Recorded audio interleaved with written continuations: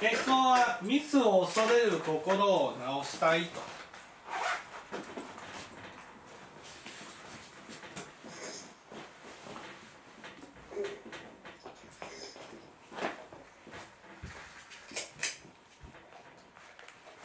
まずミスをなぜ恐れるのだと思います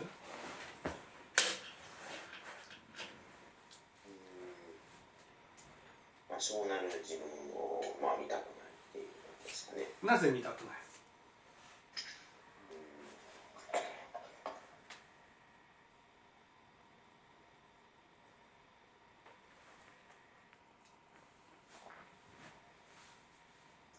うん側とかですか？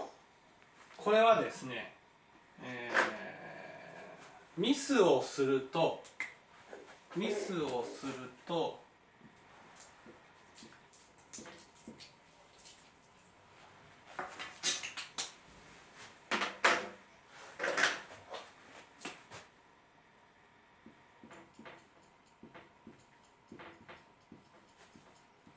ね、周りの人から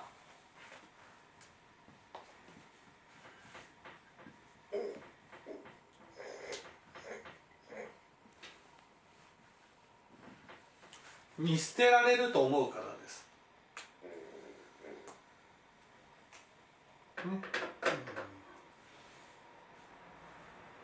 ねでこの周りの人から見捨てられると思う心が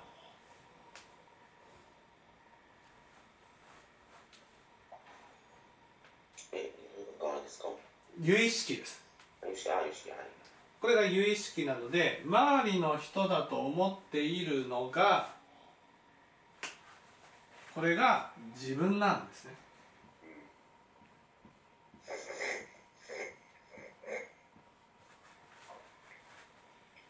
見捨てられると思う心がいわゆる見捨てるっていうことです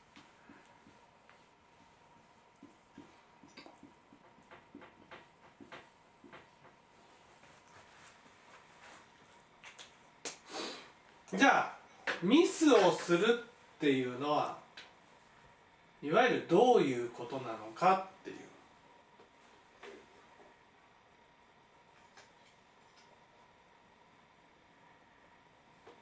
どういうことをすると周りの人から見捨てられると思うんですどういうことですか？はい。どういうことをすると周りの人から見捨てられると思うか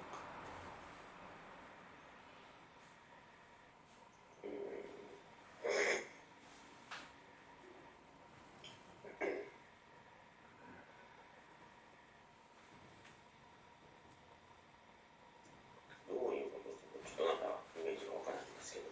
これはね多くの場合はですねミスをして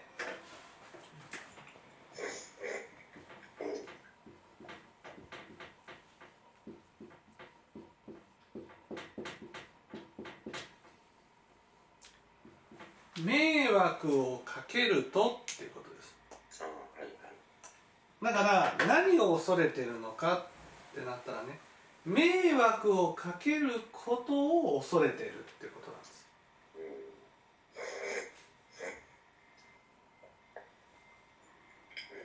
迷惑をかけると周りの人が嫌な顔をするのではないか。そして自分に対する信頼を失うのではないか。いうことが怖いんです。でもそれは同時に自分が迷惑をかけられた時にねいわゆるこう人がいたとしたらね迷惑をかけるとその人の評価が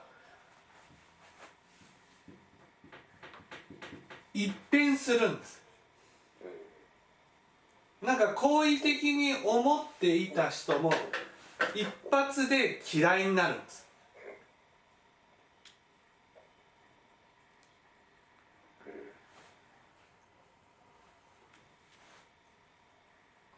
だから人も迷惑をかけると自分のことを嫌ってくるんじゃないかと思うんです。だからどうしたらいいあどうしたらいいわかります？その周りの人だと思ってるのは周りの人じゃなくて自分なんです。ね？自分は迷惑をね？かけた相手も迷惑をかけた自分も簡単に見捨ててしまうんです。見捨ててしまうっていうのはその人のことをもう嫌だっていうふうに思うってことです。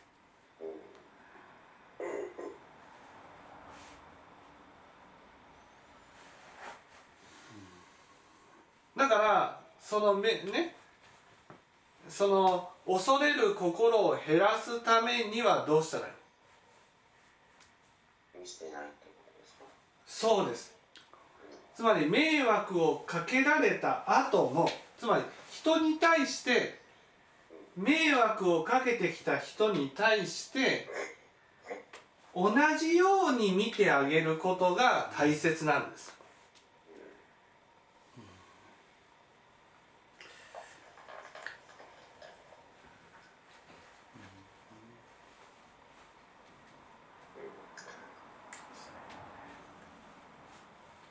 だから迷惑をかけられた時にね腹を立てたり相手を責めたりするんじゃなくて気持ちよく時間を取ってあげるっていうことが必要なんです、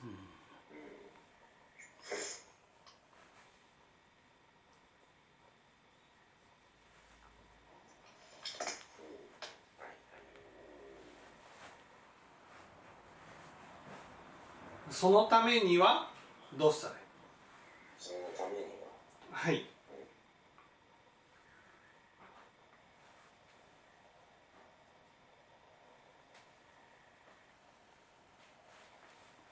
そのためには？そう。そのためには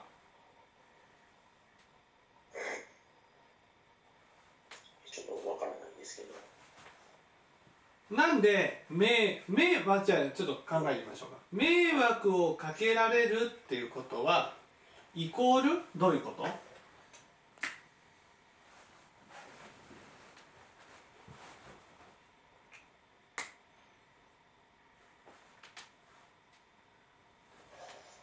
迷惑をかけられる。そう迷惑をかけられるって言った場合ねその大体2つのことに集約される。んですだけど普通は職場の中でその片一方のことは起きないんです。ね。だから大体一つに絞られるんです。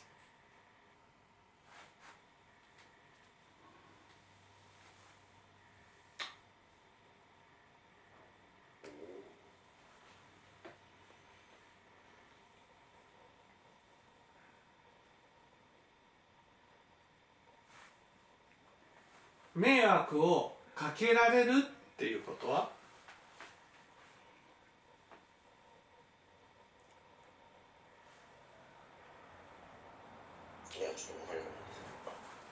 これはね迷惑をかけられるっていうことは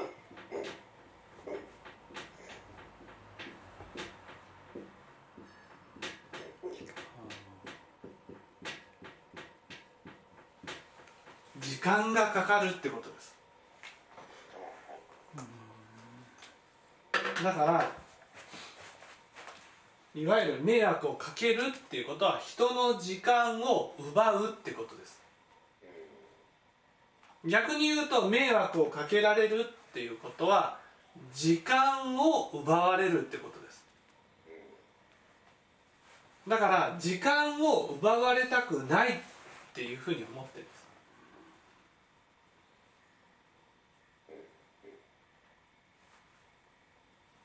ねということは人に迷惑をかけられてその人の評価を一変しないためにはえ時間を取ってあげる時間を取ってあげる。うん違う。違う。うん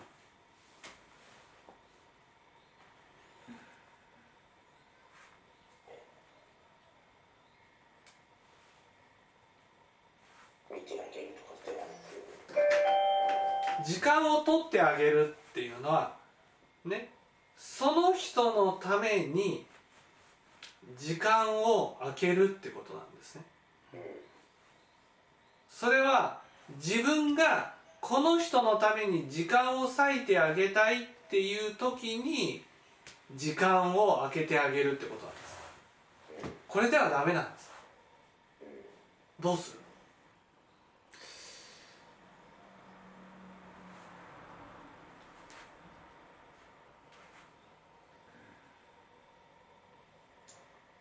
えー、ちょっとちょっとわかりませんけどわかります。よくあるのがね時間が空いたからこの人のために手伝ってあげよう。自分で予定を立ててあこの時間はこの人のために時間を取ってあげよう。と計画的に時間がここにあるから時間を取ってあげよう。っていうのが人のために時間を割くっていうことだと思ってるんです。じゃあ自分が忙しい時に迷惑をかけられたら？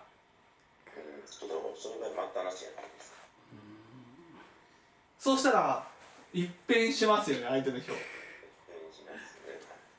だからこれは常に余裕を空けておくんです常にね。つまり自分自分にこれだけの時間があったとしたらね。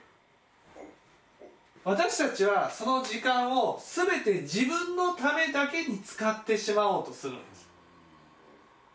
こういうふうにすると人が何か頼んできた時はいつもイレギュラーなんですよ。だから腹が立つんです。だから初めから自分の時間10あったとしても7ぐらいしか使わないって決めるんです。7が精一杯の時間の使い方なんだと思うってことです。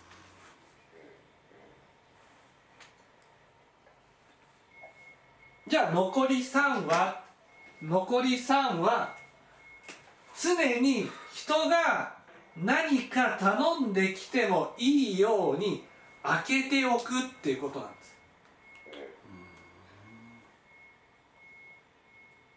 もちろんね何も頼まれない時はこの時間を何か入れてもいいけどいつでもやめていいものしか入れないってことなんです。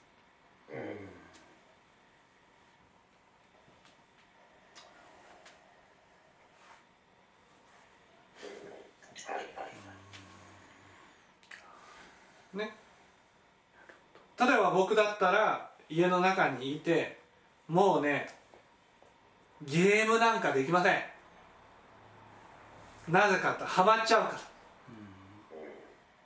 ら。ね。ゲームをしていたら子供がねコーラ入れてって言ってもあ今今戦闘中ってなるじゃないですか。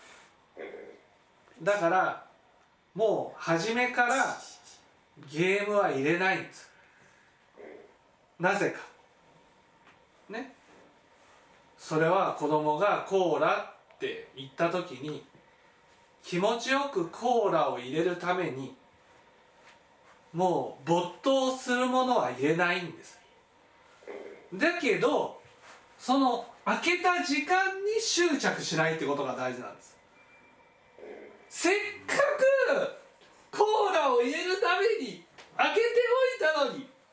コーラという声が。聞こえない。そうすると不機嫌なんです。ね、なんでコーラ開けたのにコーラのために時間を空けたのに。コーラがやってこないんだじゃあこの時間もったいないじゃないかってこうなるんです。これがまずいんです。開けた時間は開けた時間で執着しないってことが大事なんです。この時間を空けるっていうことを仏教では中道っていうんです。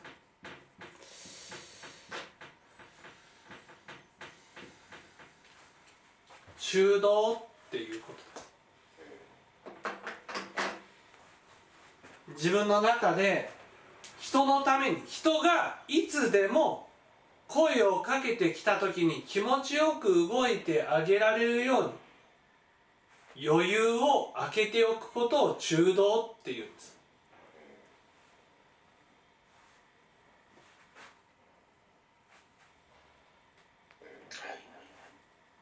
そうやって余裕を空けておけば人が何かねお願いしてきた時つまり迷惑をかけられた時に時間がかかることをされた時に気持ちよくやってあげることができる。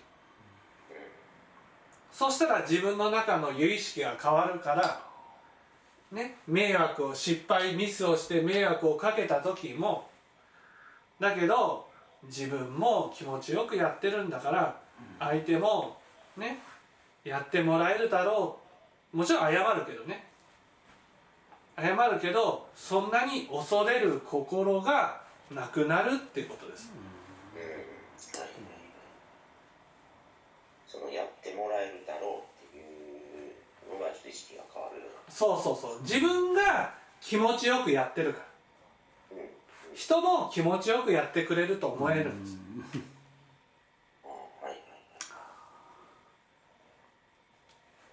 そのね時間をどうしてもね腹が立ちやすい人ほど時間を無駄にすることがいけないことのように思ってるんです。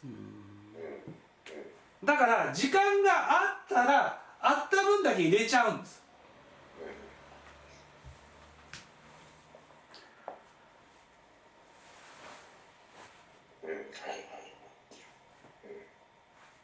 だけどねその入れ入れてしまうとね時間があった分だけ入れてしまうと人が何か言った時にもうその度ごとに腹が立ってしまうんです。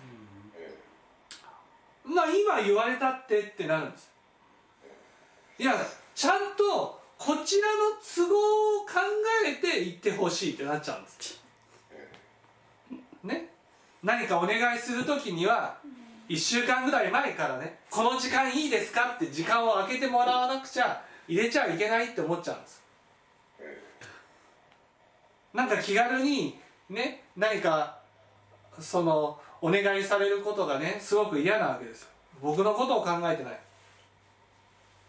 それはもういその習慣としてね仕事を入れ入れている。やるべきことを入れている習慣になってる。だから初めから余裕を空けておくっていうことが大事なんです。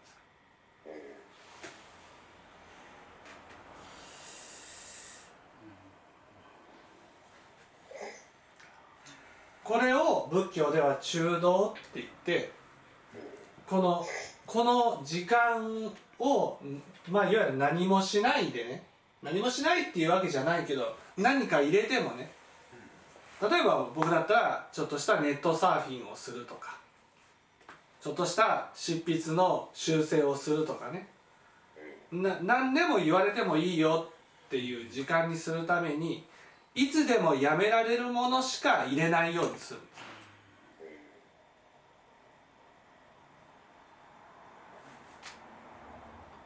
それで何か言われたら気持ちよく動いてあげる。かを入れてもいいけどいつでもやめられるものしかいいねこの3割のところには入れないってことなんです。そうすることによっていつお願いされても気持ちよく動くことができる。はい。だから迷惑をねかけられてもそんなに嫌だと思わなくなる。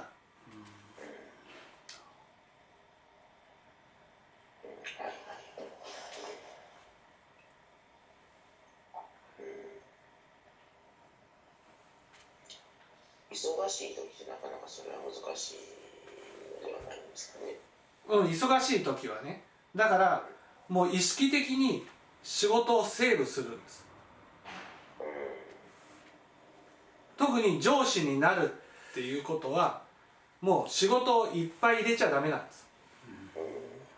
あそうなんだと思ってください。もう私は人のために取っておかなくちゃいけないから。だから仕事はもう満帆に入れちゃダメだっていう意識が大事なんです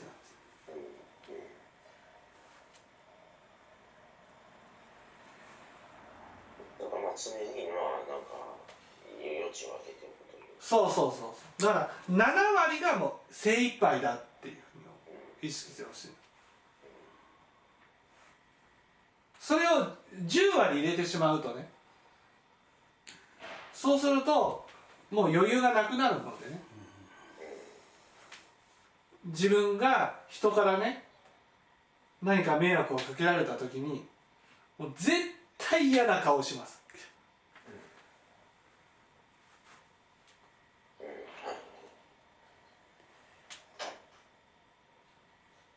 それがそのまま失敗を恐れる心になるってことです。